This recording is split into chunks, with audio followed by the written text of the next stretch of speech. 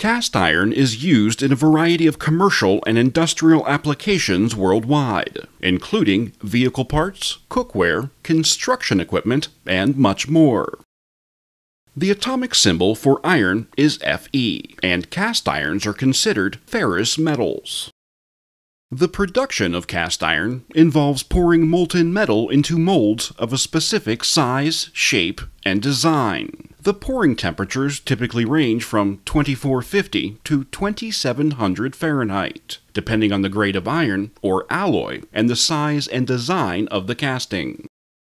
This graph displays cast irons in terms of carbon and silicon content. To be considered cast iron, the alloy must have at least 2% carbon.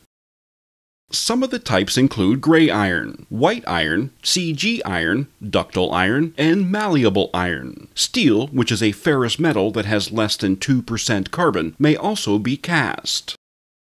In addition to carbon and silicon, other alloying elements such as manganese, copper, nickel, molybdenum, and chromium are added to cast iron as required by the final chemistry. Sulfur and phosphorus are also important elements that must be controlled and kept at very low levels for certain cast irons. Cast irons are considered to have high strength, good machinability, and good wear resistance. Such mechanical properties are directly influenced by the microstructure of the metal. For example, here is a microstructure of gray iron, a common type of cast iron at high magnification. These long thin flakes of graphite provide the metal with good vibration damping characteristics, because the matrix is not continuous and the vibrations do not travel all the way through.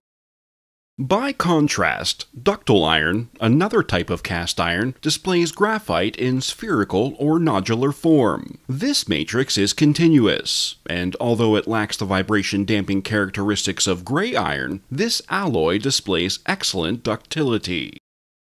Cast irons have been, and continue to be, one of the most important and commercially viable types of metal parts and products worldwide. Over 100 million metric tons of cast iron is produced globally each year.